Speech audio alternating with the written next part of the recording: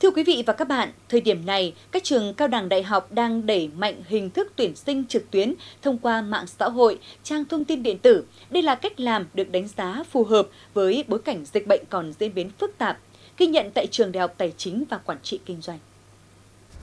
Năm học 2020-2021, do ảnh hưởng của dịch bệnh nên các hình thức tuyển sinh online đã được trường Đại học Tài chính và Quản trị Kinh doanh triển khai từ sớm. Kết quả số lượng thí sinh được tuyển theo hình thức online chiếm khoảng 40% trong tổng số thí sinh được tuyển của nhà trường. Năm ngoái thì em cũng nộp hồ sơ qua trực tuyến ạ và em cảm thấy là hình thức tuyển sinh online ở trường rất là thuận lợi cho thí sinh cũng như bản thân em ạ. Trong mùa tuyển sinh năm 2021, song song với hình thức xuống trực tiếp các trường để tư vấn hướng nghiệp tuyển sinh, trường Đại học Tài chính và Quản trị Kinh doanh đã tăng cường thêm hình thức tuyển sinh trực tuyến.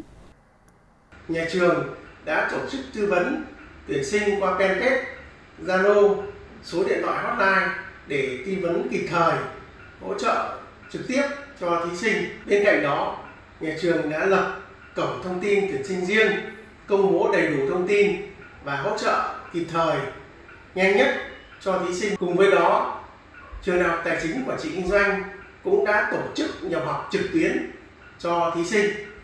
Đến nay, trường Đại học Tài chính Quản trị Kinh doanh đã tuyển sinh được trên 400 chỉ tiêu và nhà trường đang tích cực xét duyệt hồ sơ để đảm bảo về chất lượng cũng như số lượng tuyển sinh theo kế hoạch.